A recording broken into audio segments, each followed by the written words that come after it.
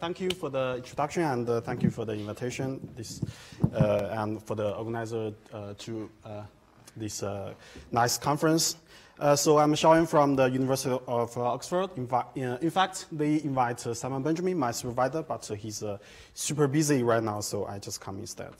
to be honest, I just started three months ago, so I don't have many new and inter interesting stuff to share with you. But today I will also talk about some uh, recent results by my colleagues and also some uh, recent findings by myself. So hope you will be uh, interested. Uh, as you can see, I will talk about error mitigation for shallow circuit, in fact, and also its application in quantum chemistry simulation. So here is um, online. first, I will talk about the motivation and then uh, discuss the error mitigation, and then I also quickly review uh, chemistry simulation. And finally, I will uh, uh combine error mitigation and uh, chemistry simulation. Okay, uh, here is a roadmap for fault tolerant quantum computing. So here,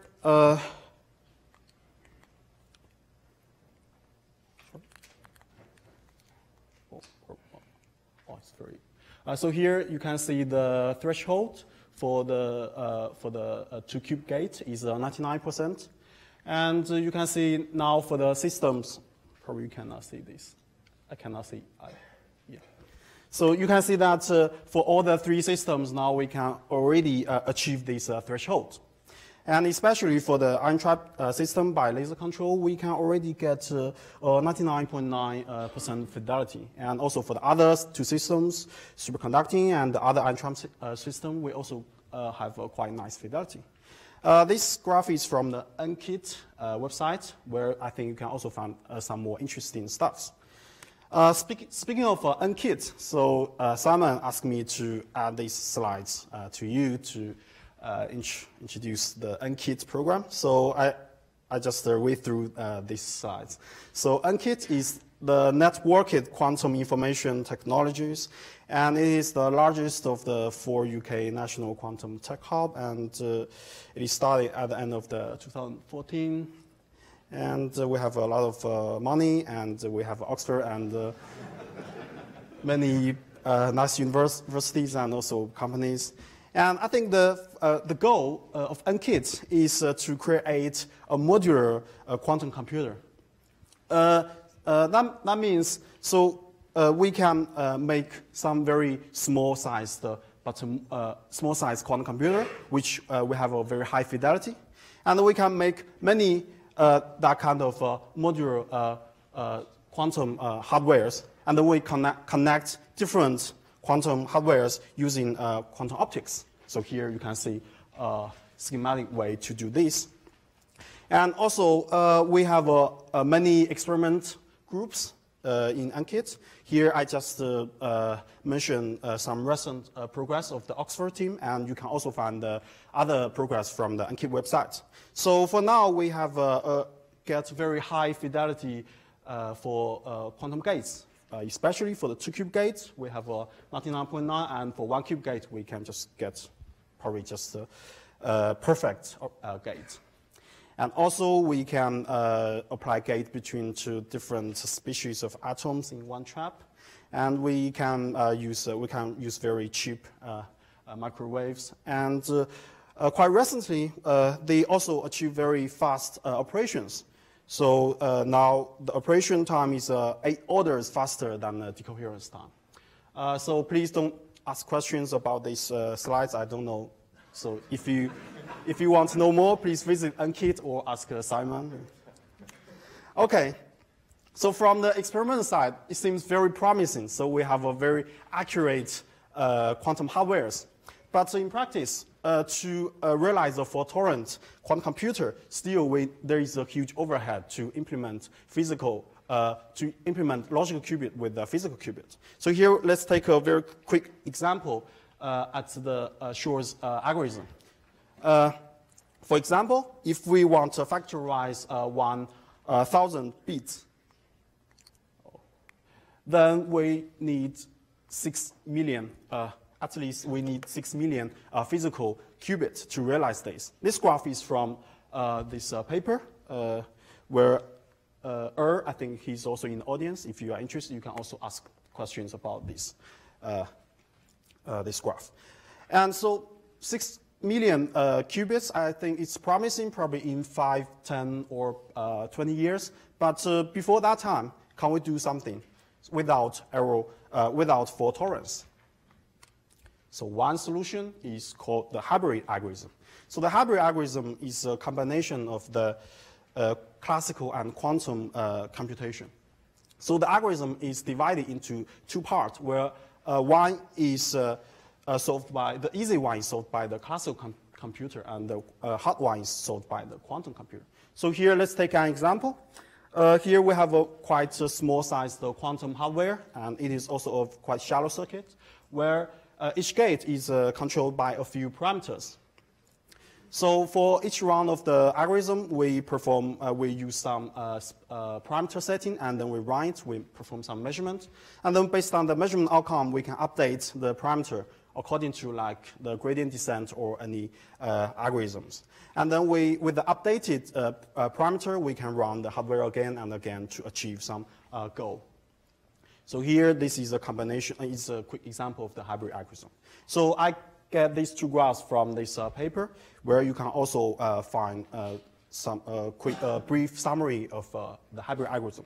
Of course, recently there are many works about hybrid, algorithms. So, so, so it seems that so here for the hybrid algorithm, of course, we can use a, for, quantum error correction to correct errors. But remember that we have a huge uh, overhead to implement the logical qubit. So instead, how about we don't uh, implement uh, uh quantum error correction? Then can we still get some uh, accurate results? Then this talk is about uh, how to mitigate errors for this kind of a shallow circuit. So one method I, I will introduce is called error mitigation.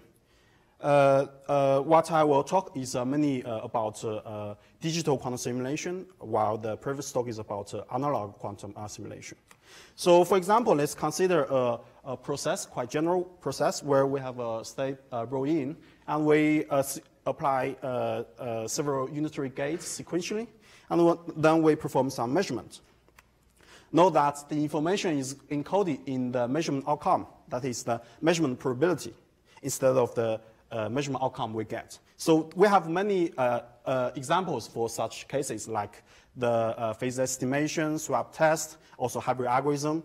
Uh, while we also have some other algorithms such as the Shor's algorithm, Grover's algorithm, where the result is encoded in the measurement outcome instead of the measurement uh, probability. So here we just focus on this type of computation. Then uh, for the output state, uh, if we have no noise, we can get a noiseless state. And, but actually, in practice, what we get is a noisy state.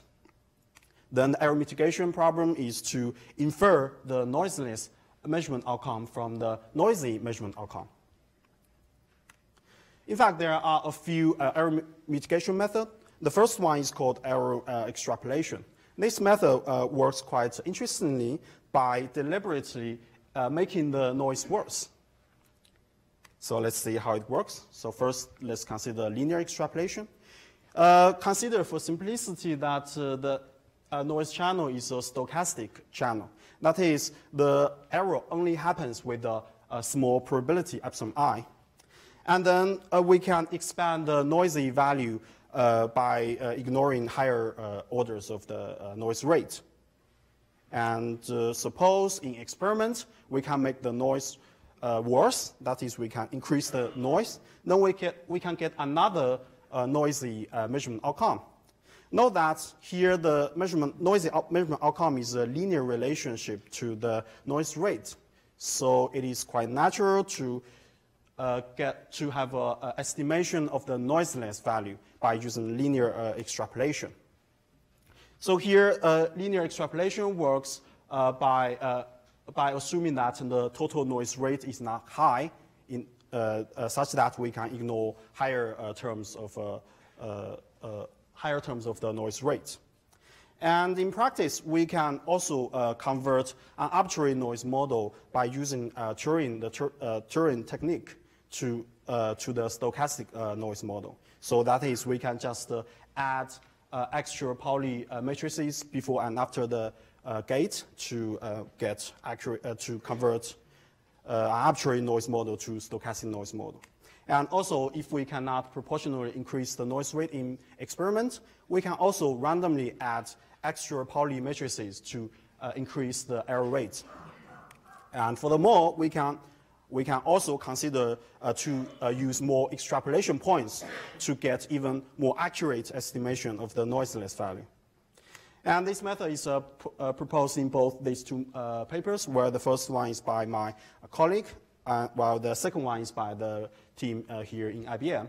Uh, so uh, for the first one, they also propose another simulation method, while, and, while the second one, they propose two, two error mitigation methods. While the, uh, the other error mitigation method uh, will, uh, is the negative probability, which we will discuss very soon. But before that, I will discuss something more uh, which is uh, called exponential extrapolation method. So here you can find a new batch. So here, uh, so if you found this new batch, it means that this is a new result, uh, so new recent results. Uh, so remember that the noise value can be uh, expanded in this way. Here, PI, PK means the probability that K errors happen uh, in the circuit. So here we still uh, assume the uh, stochastic model. And Zk is the average measurement outcome uh, when we have uh, k errors. So here n is the number of gates and r is the error rate. Here for simplicity, we assume that the error rate is for every gate is the same. And then when n is large and the total number of error rate is is a constant, we can uh, convert the binomial distribution into uh, the Poisson distribution. That is like this one. So you can see that the probability pk is proportional, uh, is exp exponentially decreasing to the error rate. Then it is uh, naturally to uh, have a guess that the noisy uh, value is also exponentially decreasing to the noise rate. Then instead of linear extrapolation, we can also try exponential extrapolation. So later I will show uh, simulation results of the linear and extrapolation, uh, uh, exponential extrapolation method, but uh, before that, we should, we, I will also talk about the other method introduced by the IBM team, which is called the negative quasi probability method. The method is uh, essentially is to synthesize the unphysical inverse of any noise channel. So here, for simplicity, let's just consider uh, one gate and one noise. Suppose that we consider the depolarizing noise channel, and then we can easily find the inverse of the channel by just solve the equation. And then uh, we can also write it in a more uh, uh, elegant way. Here, P1 uh, means the probability that we do not affect the state, while P, uh, P2 means we, uh, with P2 we apply some random Pauli matrices to the uh, to the gate, uh, to the state. But uh, unfortunately, here we have a minus sign. So this minus sign generally prevents this channel to be physical, physically realizable. So we cannot realize it in, in practice. But we should remember that instead of realizing the inverse channel, what in practice we need to do is to get the noiseless value. So here we denote the no noiseless value as O and the noise value as uh, O prime. And then the negative probability method works as follows. So with the probability P1, we add nothing. So we, we just add identity uh, channel to uh, identity operation to the uh, to the state to, to, to, to, the process. And then with the probability P2, we randomly add X, Y, Z uh, operations to the uh, to the process. Then in total, we will get four measurement outcomes. And according to the form of the inverse channel, it is natural to get a relationship between the noiseless value and the four noisy value. So in practice, what we need to do is to rerun the circuit many times, while for each time, we randomly add some extra gates, while in total, we can get the noiseless value from the uh, different noise values of the different runs. This paper is introduced in the IBM paper, uh, where they also consider some other uh, noise channels. While recently, our colleagues, uh, my colleagues, they also consider uh, to extend the IBM work first. They generalize the result to a general Markovian noise model. So in general, we can uh, use a basis to uh, decompose the uh, channel. And of course, we can, then we can also uh, decompose the inverse channel. And then we can use, uh, use the, this basis to cancel any local Markovian noise. And furthermore, we can also cancel any multiple qubit gate by just tensor producting uh, the basis.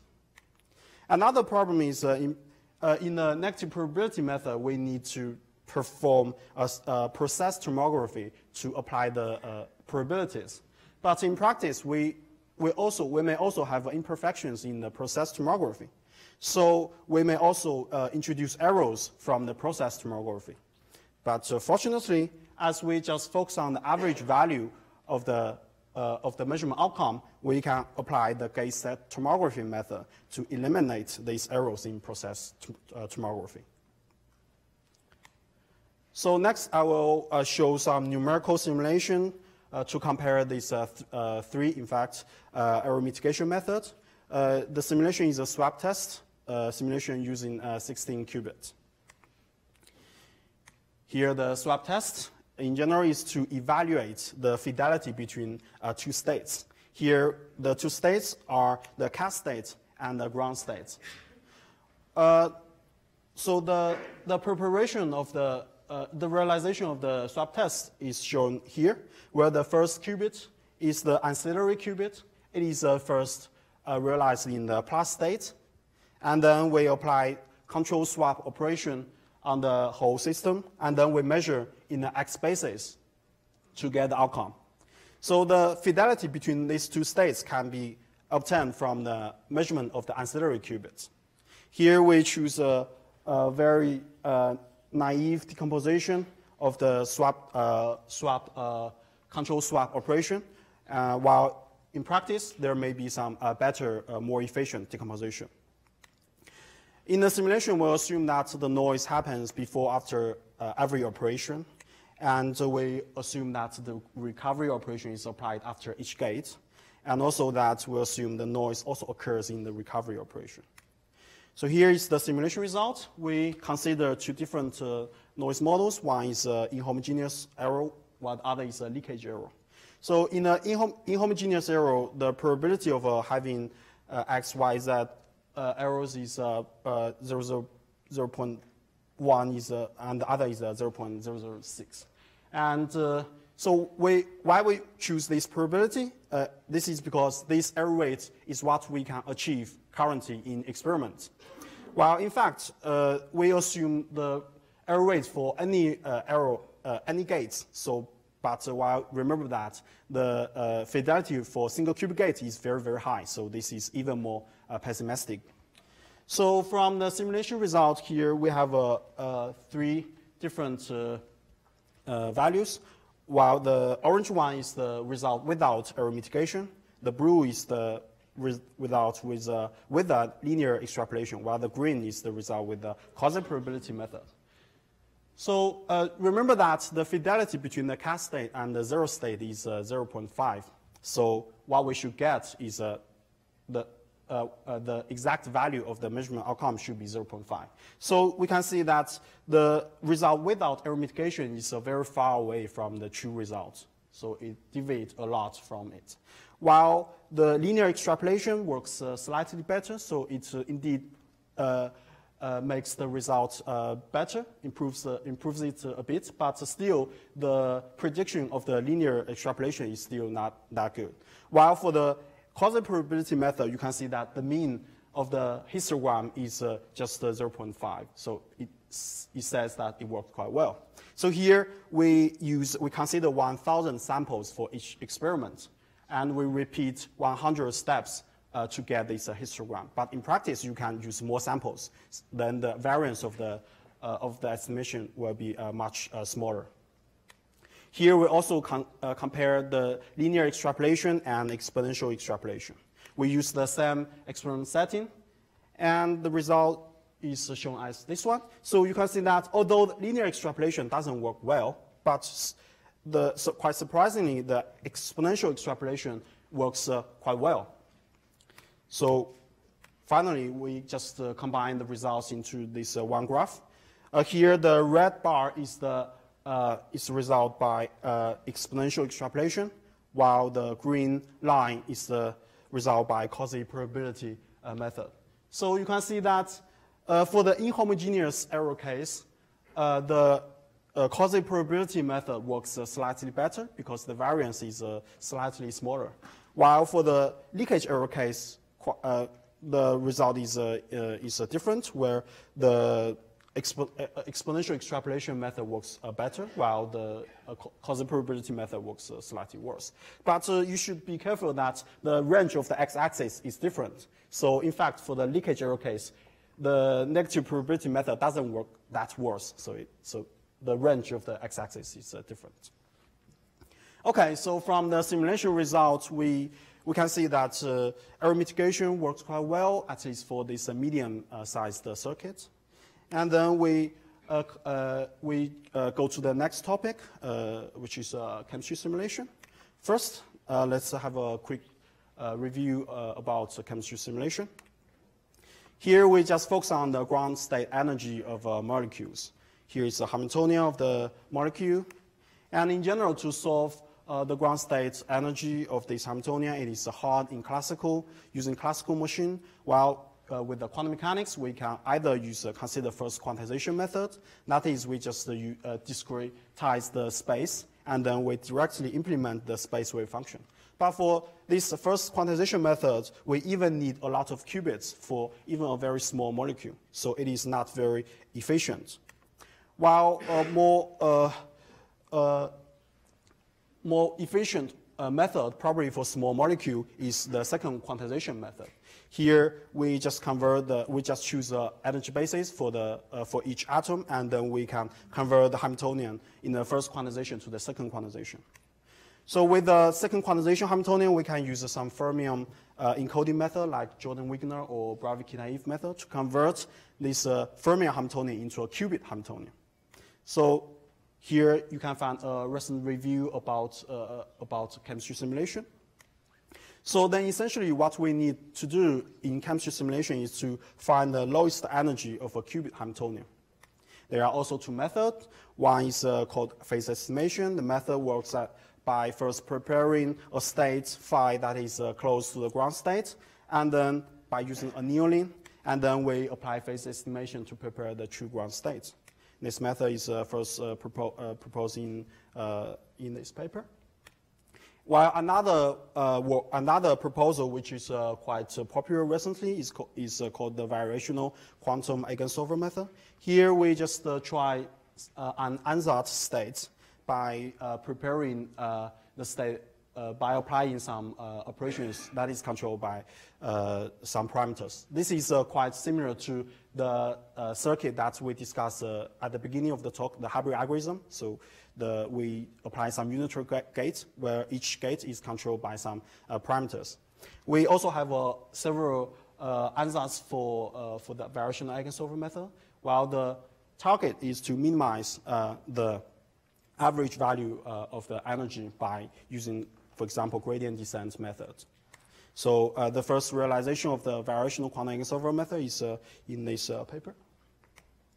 Okay, so next we just uh, uh, jump to uh, see the combination of error correction, error mitigation, and chemistry simulation.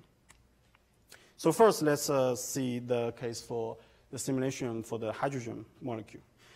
Uh, the hydrogen molecule in the minimum basis is, uh, is a two, two qubit uh, Hamiltonian. In fact, uh, where here the coefficients uh, are dependent on the distance between the two atoms. And the trial state of, the, of this Hamiltonian is uh, as this one. So I just copy these results from the recent PRX paper by the Aspuru-Guzik and the Martinis team.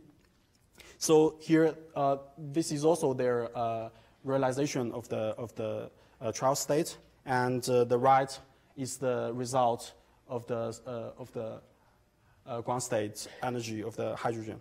So here they compute both the two methods, uh, variational quantum eigensolver and the phase estimation, you can see that variational eigensolver works uh, slightly better, uh, uh much better than the phase estimation uh, method.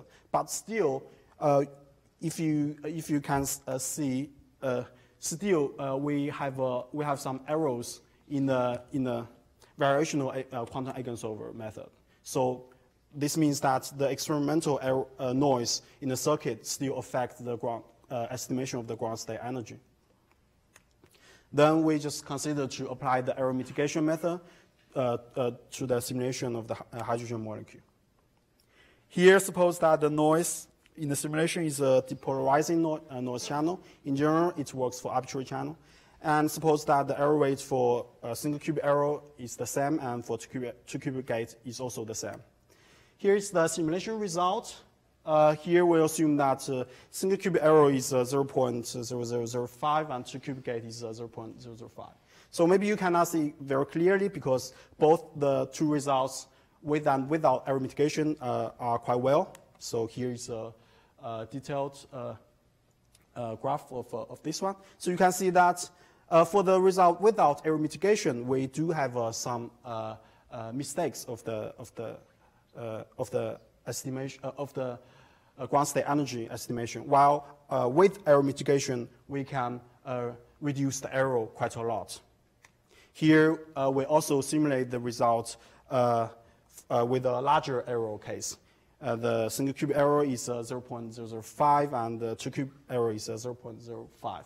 So this is the, so the, oh, sorry. So uh, here you can see the result with error mitigation improves a lot compared to the one without error mitigation. While uh, it was to mention that here we use the same sample size for both methods. That is, we just use a 1 million uh, sample size for uh, both the error mitigation and uh, the conventional method.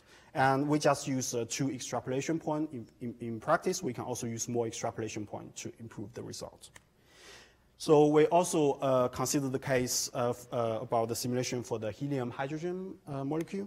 Here is the Hamiltonian, and here's the, re the realization, the circuit, and the, the result from this uh, uh, paper. So you can see the noise in the circuit uh, indeed affect the simulation result. and while for our application of the error mitigation method, we uh, consider the same uh, depolarizing channel, and, uh, but now instead, we have uh, six parameters to optimize. And here's the simulation result, where you can see uh, here we assume single qubit error is uh, 0.001 and two qubit gate is 0.01. And you can see that the result with error mitigation is quite accurate. So from these two results, we can see error mitigation indeed works for quite shallow and small-sized circuits. But uh, in practice, uh, what quantum chemistry is uh, uh attractive is uh, because uh, we can indeed achieve very accurate estimation of the ground, ground state energy. But in practice, to achieve accurate estimation of the ground state energy, we need to consider more complicated bases. So in the previous works, we just consider in the minimum basis, so uh, which is the red curve uh, in, in, in, the, in, the, in, the, in the above. And uh, while in practice, we need to consider more complicated uh, computa uh, uh, basis for the simulation. And in that case, and you can see the energy curve are, are, still quite different. So even if we can get the most accurate energy estimation for the minimum basis, still we have a huge gap a huge difference to the uh, actual energy uh, curve. While uh, in the quantum chemistry simulation, the required number of qubits is related to the, to the number of bases. And furthermore, if we consider the unitary coupled cluster ansatz, the number of parameters is also uh, increasing uh, to the number of uh, qubits and also the number of bases. Here, I just uh, quickly estimate the number of qubits and number of parameters that we need to uh, in, the, in the optimization. So here, for example, for the minimum basis, without any reduction, uh, we, need at, we need four qubits. and we need 272 parameters. While for the most complicated basis, here we try, we need 200 qubits, and we need 2 billion parameters to optimize. While I also calculate the number of uh, terms in the, uh, in the Hamiltonian by, by using the Open Fermion uh, package. So I just calculate the, the four bases because uh, uh, with the larger bases, the number of terms are, um, are, are larger and the computation time is uh, very long. So for the for the cc-pVTZ basis, you can see we need more than 100,000 terms in, the, in the Hamiltonian. So it seems that to get some very, to get the actual uh, ground state energy of the uh, Hamiltonian here, even, even for hydrogen, we need more number of qubits, and we need to optimize a lot of uh, parameters. So to summarize, error mitigation works quite well for shallow circuits and chemistry simulation. While uh, on the other hand, to get some very accurate uh, results uh, of chemistry simulation, we indeed need to consider a large basis, while this seems to be still quite challenging. There are a few potential solutions to, uh, to this problem. So the first one is uh, probably we can try other encoding method, for example, uh, the first quantization method, where the, where the number of qubits doesn't increase with the, with the accuracy because we just consider the, uh, directly the wave function of the space. And this, uh, this method is uh, recently uh, discussed in this uh, IBM paper. And another method is uh, also introduced in the IBM paper. they consider Hamiltonian reduction. That is, probably there are some redundancy in the Hamiltonian. For example, for the minimum basis of the, of the hydrogen, we can reduce four qubits to just one qubit using some uh, Hamiltonian reduction. But uh, I, tried the, uh, I tried the algorithm, but it seems that the reduction doesn't work very well. It's, so it uh, seems to just uh, reduce at most uh, two qubits for larger bases. So another possible solution is to try hardware efficient ansatz, which is also recently realized in the IBM experiment paper. So instead of uh, using the unitary coupled cluster ansatz, we may try some other ansatz that is more experimentally fr friendly. And the final one is uh, probably we can try some other optimization method. So before the end of the talk, I just want to show some results uh, that is done by the by last week. So it may be not it may not uh, correct, but uh, I just want to show you show you and uh, to, yeah, to, to ask for your advice, comments, and uh, yeah. So here we consider the problem for the helium-hydrogen uh, uh, Hamiltonian. And uh, remember that originally we need to solve the ground state energy for this Hamiltonian. Uh, but instead here we consider another a tunable Hamiltonian. Here we have a parameter t that we can control in experiments. When t equals zero, we have a Hamiltonian uh, which is very simple, just uh, this uh, uh Hamiltonian that is uh, just has local terms. So we can analytically solve this Hamiltonian. And then with the t, by increasing t from t equals, t equals 0 to t, t equals 1, we just recover the original Hamiltonian. So this idea is similar to adiabatic quantum computing. So here, we just solve the ground state energy for t equals 0, just by analytical uh, solution. And then we gradually change uh, T, and then we can gradually get the correct uh, energy curve for the original Hamiltonian.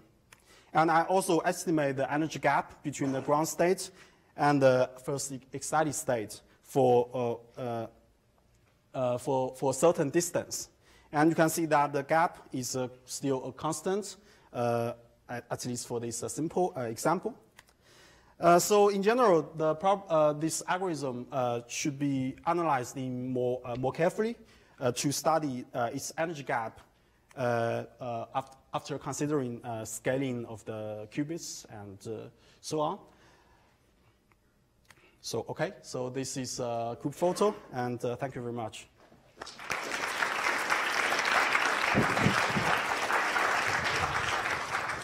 So, thank you. Um, so, questions? Plenty of questions, yeah.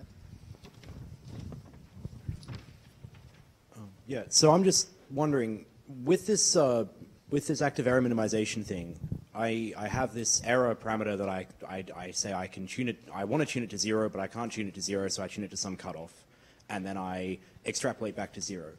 Now, if I work in a, if I'm in, in the lab and I'm doing, well, not me, but somebody else is doing a real experiment, then they don't necessarily know what this error parameter really looks like. And usually they have multiple knobs which they can tune to try to improve their circuit. So you're not entirely sure that you're going to go back to zero with the same, you know, like at the same time with the same knobs. Mm -hmm. How can I? How can you extract an, a single epsilon parameter that I can I can take my energies from from any method I I have and extrapolate them back to zero and, and have a good guarantee that this this epsilon parameter is a faithful representation of what I have. Okay. Uh, so in fact, there are two uh, realization of the linear extrapolation method. So one is uh, uh you just uh, uh, proportionally increase the error rate. So in that case, you need to know that, for example, for the two qubit gate, you have this, you have this error, and then you can just increase error. For example, you just run the two qubit gate for a longer time to in proportionally increase the error rate. But if this is not possible in practice, then there is another way. So in that way, you need first to perform process tomography to the, to the, uh, uh, to the, uh, to the gate. And then with the process tomography, so we can apply some extra Pauli uh, gates after, at the end of the circuit to effectively increase the error, uh, error rate. Okay, thanks. Um, Okay, so uh, I, I actually tend to agree with um, your sort of arguments about the scaling of unitary coupled cluster and why it's not well suited to near-term devices. But I just want to make a comment about this because I've noticed several talks and actually papers recently which seem to have a common misconception. The proposal has always been to run classical coupled cluster in order to understand, say, what transitions are symmetry forbidden uh, and so forth. And uh, so, you, like in, in several papers I've seen recently, people say things like, oh, molecular hydrogen, there's several thousand parameters, and at 10 qubits, you know, it would be 10,000 parameters or something. So for context, LiH has 12 qubits. There are seven parameters when you run classical coupled cluster. So that's sort of an important part of that. Um, and in fact, it, it always has fewer terms than the number of terms in the Hamiltonian and not the other way around. Um, okay. All right, I'll pass to Garnet, who probably has a real question now. Yeah.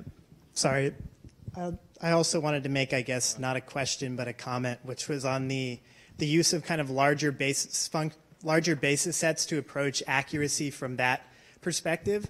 Like, while that's true in general, I think the, if you follow the kind of traditional path of classical quantum chemistry that many of us follow, I think in early quantum devices, you're going to want to use qubits a little bit more parsimoniously than that, and that you reserve them for only the parts of the space where there's strong correlation so that even if you use, say, a cc-pV5Z basis with, you know, 220 basis functions, the strong entanglements may be only happening in, say, four or eight of those orbitals, and the rest can be treated perturbatively to high accuracy, which is kind of the standard approach for things like DMRG and others right now. Mm -hmm. And I think that's probably the approach you want to use on a, a quantum computer as well, rather than attempting to treat all of these nearly classical orbitals using your quantum qubits. Uh, I'm sort of adding to this, but making slightly disappointing. There, there is unfortunately an error in the um, counting of parameters that you're using for the coupled cluster theory. So the exact parameterization for H2 only scales quadratically with the number of qubits because you only have two particles. So the number of parameters is equal to the number of particles multiplied by the number of qubits. Uh, so it's actually, because classically that's a similar, you know, the number of parameters you have is much larger than the Hilbert space size. Know, classically, that's a simulation which runs in a, in, a, in a second or something, and that's because you don't have so many parameters for the exact solution.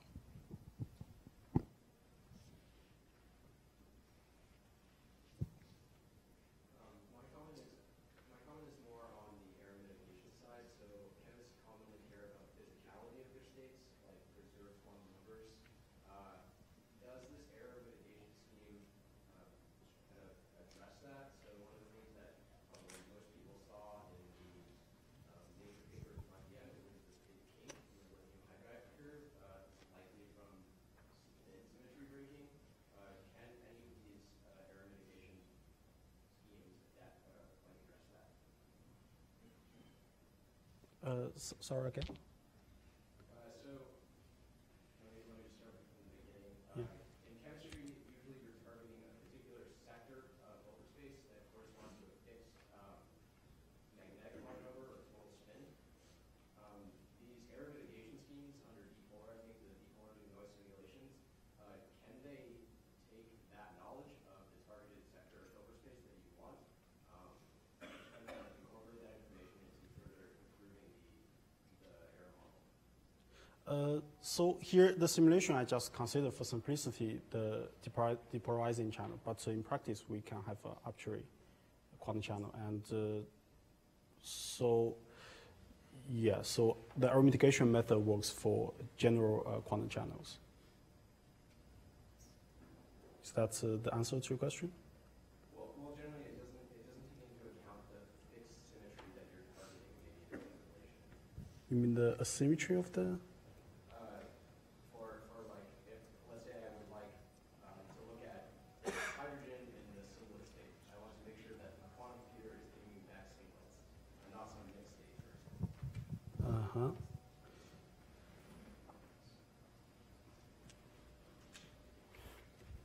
Sorry, maybe we can discuss in private. Yeah, yeah, yeah. Uh, okay, good. So any other questions? Is there one over there? Yeah. I have a comment to make about that last question. I have actually looked at the lithium hydride curve, Yeah. and um, it's not actually, um, in that case, it's not actually a mixture of spin states.